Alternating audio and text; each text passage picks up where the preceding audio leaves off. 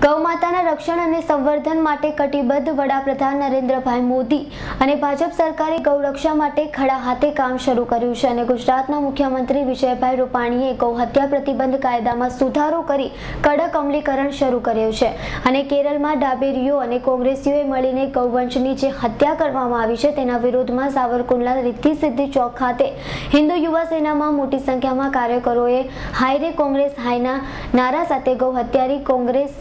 ના સૂત્રોચ્ચાર કરી રાહુલ ગાંધીના પુતળા દહન કરી કાર્યકરોએ છોડા ફટકારીને વિરોધ દર્શાવ્યો હતો અને કોંગ્રેસે ગૌ હત્યા કરીને કોંગ્રેસે પતનનો રસ્તો અપનાવી લીધો છે અને પતનની નિશાની છે અને આ ગૌ હત્યારાઓને કરોડો હિન્દુઓ ક્યારે માફ નહીં કરે. આગામી ચૂંટણીમાં હિન્દુઓ કોંગ્રેસને પોતાનો રસ્તો બતાવી દેશે તેમ જણાવ્યું હતું.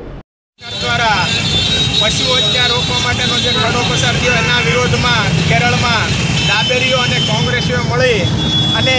ગૌવંશની જે નિર્મમ હત્યા કરી છે, એના વિરોધમાં આજે સાવરકુંડલામાં હિન્દુ સેના દ્વારા રાહુલ ગાંધી, ડાબેરીઓ અને આ ગૌ ગૌ પૂતળા દહનનો કાર્યક્રમ યોજવામાં આવ્યો છે. ભૂતકાળમાં ગાય અને વાસરડાના નિશાન ઉપર આ કોંગ્રેસ આ દેશમાં રાજ કરતી હતી. પણ હવે કોંગ્રેસના પતનની નિશાનીની શરૂઆત થઈ ગઈ છે અને આજે એક